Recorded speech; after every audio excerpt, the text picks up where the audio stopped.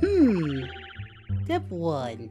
Open the packaging with supervision from your parent, guardian, or any responsible adult. Hmm.